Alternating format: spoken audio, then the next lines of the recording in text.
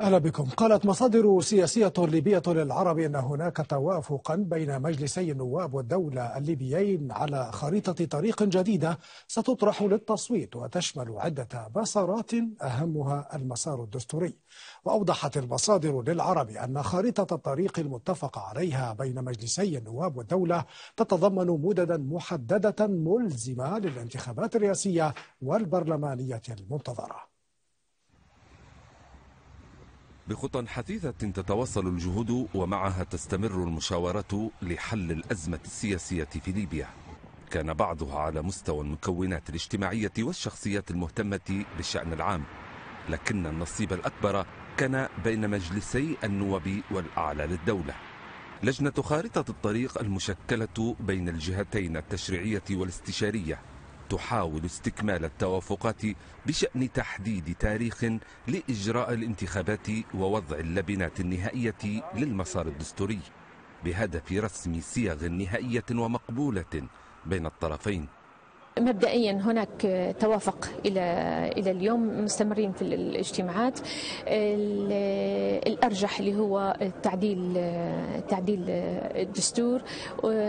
طبعا فتح الدستور للتعديل أمر ليس بالسهل.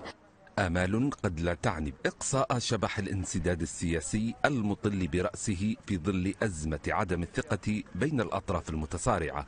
وضع يرجح معه متابعون استمرار البرلمان في الإمساك بزمام السلطة وإطالة أمد المرحلة الانتقالية.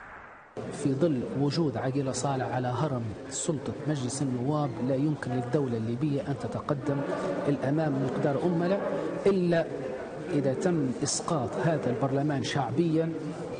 والتوجه إلى بعدة الأمم المتحدة في طرابلس لإيصال هذه الصورة وباتت السيناريوهات التي ستتحكم في المرحلة المقبلة مفتوحة وفق مراقبين أمام طريق واحد.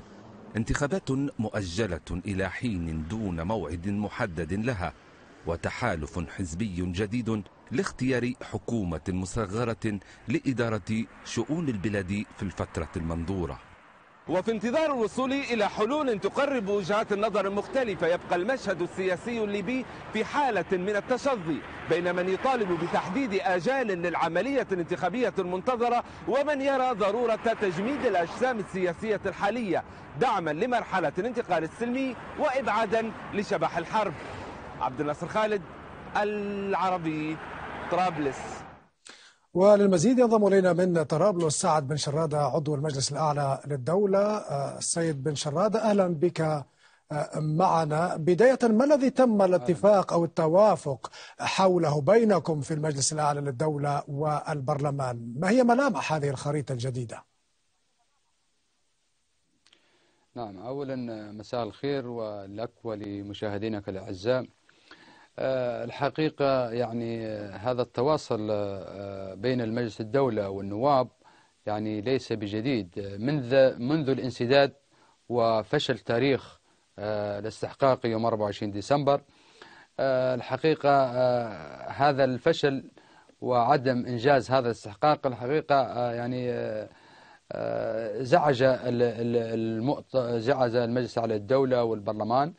الحقيقة ولكن يعني علمنا يعني أو عرفنا بيت الداء الحقيقة من هذا عدم الوصول إلى هذا التاريخ هو يعني خارطة طريق ترسم خارج الليبيين الحقيقة يعني ترسم في في عواصم العالم.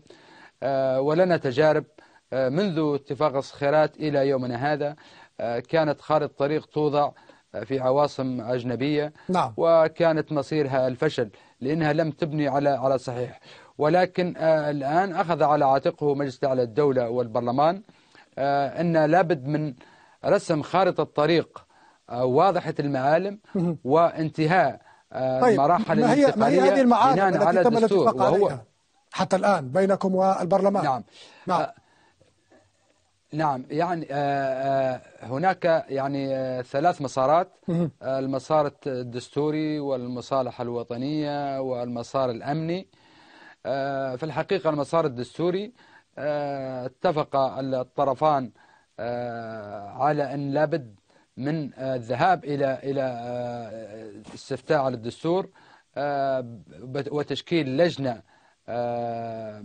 من الأطراف والنظر في مختنقات التي حالت دون الاستفتاء على الدستور وهذه حتكون في مدد يعني لا تزيد عن ثلاثة أشهر. وإذا حل المشكلة متاع الدستور فهنا حتبقى خارطة طريق وينتخب الشعب الليبي بناء على دستور ينظم حياته وعلاقته ما بين المواطن والدولة. المسار المصالحة. طبعا هذا المسار مناط به مجلس اعلى للدولة ومجلس رئاسي في آخر اتفاق في آخر خارطة الطريق. سوف أيضا ينظر فيه. المسار الآخر الأمني هو التركيز على لجنة خمسة زائد خمسة ودعم هذه اللجنة لتوحيد المؤسسة العسكرية. ف... طيب. ولكن الأهم في هذا هو الذهاب إلى المسار الدستوري. طيب في المسار الدستوري يعني يعني وضعتم يعني مهلة ربما لثلاثة أشهر للاستفتاء على الدستور. هل تم تحديد أيضا موعد للانتخابات موعد محدد بعد الاستفتاء على الدستور؟ هو طبعا ريت يعني عندما تشكل لجنة وتفتح المسودة والمدة وحسب خارطة الطريق يعني ليس تشكل لجنة وتقعد ما لنهاية لا لابد لها تواريخ وعندما تنتهي وأقصى وأقصى يعني تاريخ لها ثلاث شهور من من من أول اجتماع لها وبعد وبعد الاستفتاء على الدستور طبعا المدد الأخرى لا تتحكم فيها مجلس الدولة أو النواب أو اللجنة المكلفة لأن هذه أمور فنية تتحكم فيها بعدين المفوضية للانتخابات ما هي جاهزيتها نعم. طيب. بخصوص المدد. ولكن اللجنة تنتهي بانتهاء الاستفتاء على الدستور. وبعدين البرلمان ومجلس الدولة وصلت وصلت هذه الفكرة سيد بن للاستفتاء. نعم. طيب ماذا عن الحكومة؟ ماذا ما هو مصير حكومة دبيبة؟ حديث أيضا عن إمكانية اقتراح أسماء جديدة ربما في غضون الساعات المقبلة لخلافة عبد الحميد دبيبة في رئاسة الحكومة. هو طبعا بالنسبة لحكومة دبيبة طبعا هذه انتهت يوم 24 يعني حتى الثقة التي أعطت وقانون الثقة الذي أصدره البرلمان أنها تنتهي عمل هذه الحكومة يوم 24 فالحقيقة ولكن الأهم الآن هو المسار الدستوري وبالتأكيد بالتوازي يكون النظر في الحكومة لأن الحقيقة نريد حكومة يعني تكون تبسط سيطرتها على كل التراب الليبي لأن مقبلين على استفتاء ومقبلين نعم. على انتخابات طيب هل توجد أسماء معينة مرشحة لخلافة دبيبة ولا, ولا طبرق هل توجد أسماء مرشحة لخلافة دبيبة؟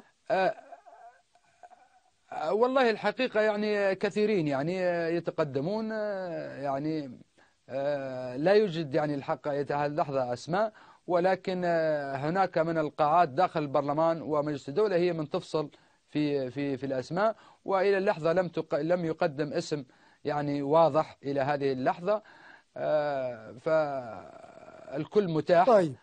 ليتقدم نعم يعني يوجد توافق نعم. الآن بين مجلس الأعلى للدولة والبرلمان ماذا عن المجلس الرئاسي هل يوجد انسجام أيضا بينكم وبين المجلس الرئاسي فيما يتعلق بهذه المسارات التي تفضلت بذكرها منذ قليل؟ هو بالتأكيد يعني لجنة البرلمان عندما شكلت لإعداد خارطة طريق وجلست مع الأطراف جلست مع مجلس المجلس الرئاسي وأيضا جلست حتى مع الحكومة وجلست مع مؤسسات مجتمع مدني وأحزاب وعرضت عليهم يعني يعني خطوط العريضة لخارطة الطريق وأهمها المسار الدستوري. فالكل يعني لم يعارض في هذا المسار لأن اليوم في ليبيا بات الجميع إن يجب الذهاب إلى المسار الدستوري وهذا ينقلنا من الفوضى ويرجع سيادة ليبيا. وإذا إذا إذا أنجز هذا المسار سوف ينتصر الشعب الليبي على التدخلات الأجنبية و و و و, و والعوائق التي نعم. تضع فيه سواء كان البعثة أو الدول المتداخلة في ليبيا. شكرا شكرا جزيلا لك. سعد بن شرادة عضو المجلس الأعلى للدولة. كنت معنا من طرابلس شكرا جزيلا.